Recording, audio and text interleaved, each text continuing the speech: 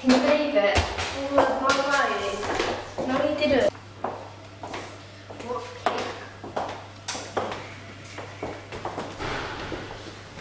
I'm completely done with him now. Mm, yeah, it's probably for the best. Wait, did you hear that Molly there? Hello?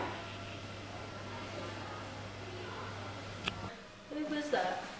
I don't know. I get all the time. What the?